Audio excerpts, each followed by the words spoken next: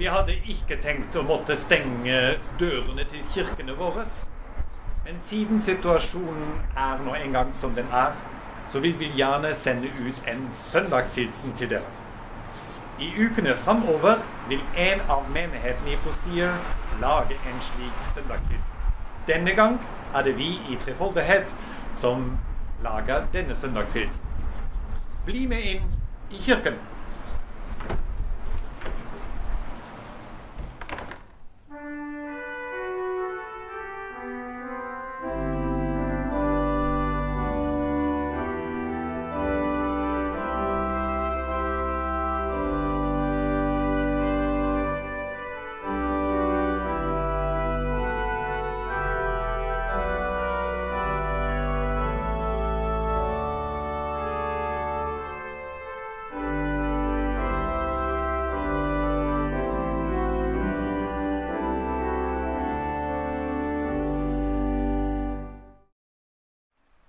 Mange har stått rundt døpefonten og vært med på det høytidelige øyeblikk at et barn ble løftet opp som Guds barn. Søndagens prekentekst handler også om dåp, men det er Jesu dåp som er i fokus.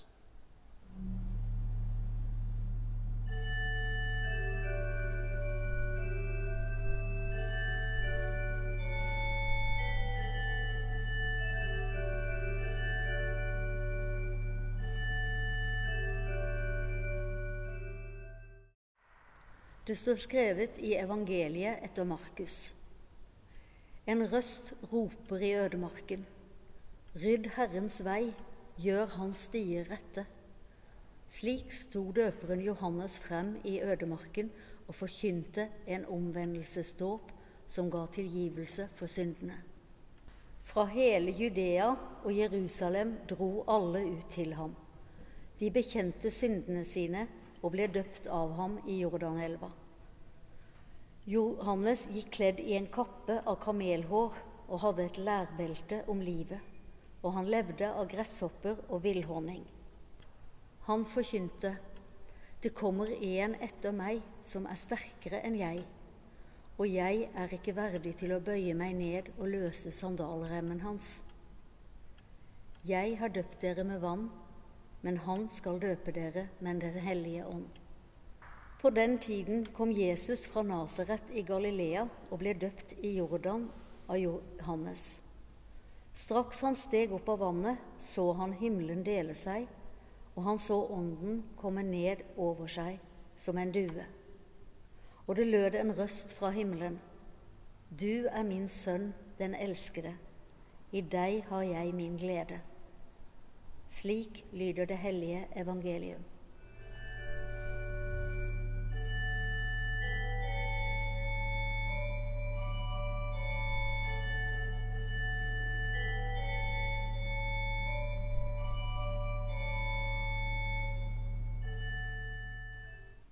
Evangelieteksten fra Markus-evangeliet inneholder en spissfindighet.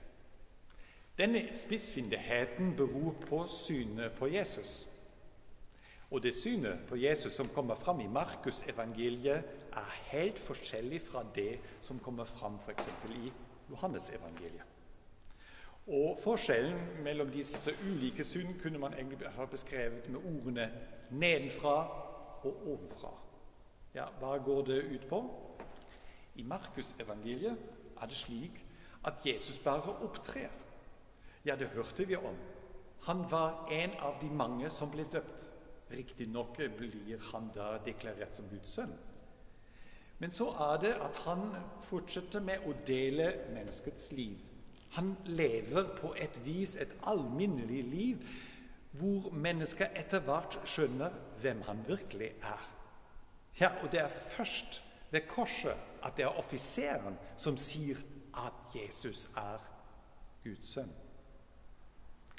Ja, Jesus er her en nedenfra fordi han opptrer som en bror, ja, en venn.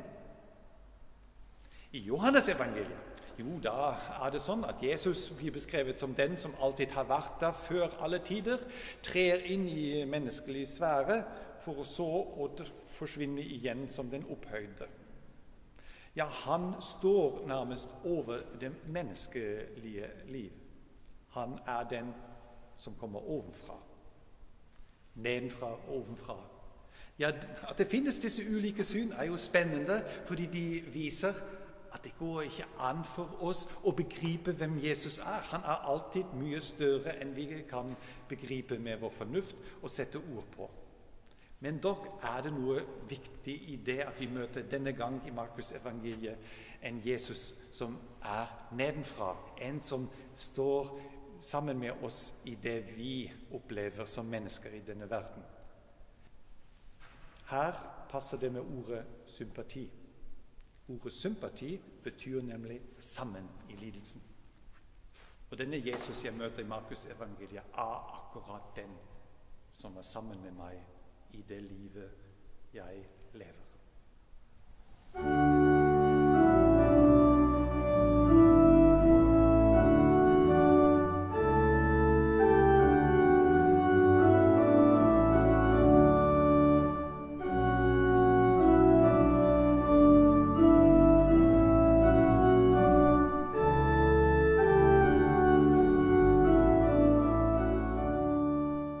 La oss be.